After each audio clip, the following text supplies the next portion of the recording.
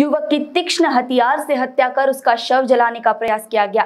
इस सनसनीखेज वारदात को पार्शिवनी से लगभग पाँच किलोमीटर दूर ईटगांव परिसर में सोमवार की रात में अंजाम दिया गया। मृतक की उम्र 35 वर्ष के करीब बताई जाती है। उसकी शिनाख्त नहीं हो पाई है।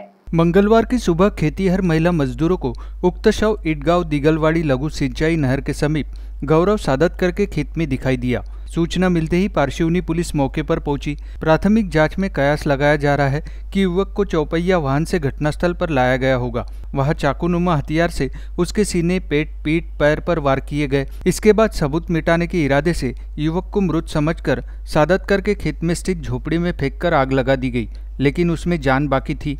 युवक अधमरी हालत में जलती झोपड़ी से बाहर निकला। वह झुलस चुका था। झोपड़ी से कुछ दूर जाकर उसने दम तोड़ दिया। मृतक के दाएँ हाथ पर महाकाल नाम और बजरंग बली का टैटू गुदा हुआ है। हाथ में कड़ा और गले में ताबीज है। पार्शिवनी पुलिस और ग्रामीण पुलिस की एलसीबी जाँच में जुटी हुई है। बॉस ने मीटिंग बुलाई। क्या यार? आदमी की तकलीफ़ को तो समझो। बाहर बाहर उठो बैठो उठो बैठो। जनाब तकलीफ़ उठने बैठने की नहीं।